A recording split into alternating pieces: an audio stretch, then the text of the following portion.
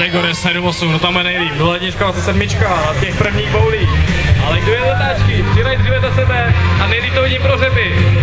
Takže řecký rider z 1027, Viktor Zvichurová, tam je na prvním místě. Ale trojka na něj velmi doléhá, začne tam dole jednička. Trojkou je to David Adámek Bíliny, já tam byla jednička, což je Vítek Beneš Benátek. Za ním je tam jeho kolega zase trojkou. No, uvidíme, kdo to bude, kdo to bude s Vikoperou. Takže zatím jasně 27. první místo, řecký rider Viktor Zikurová. Vypadá to, že dneska udrží, že zaskočil.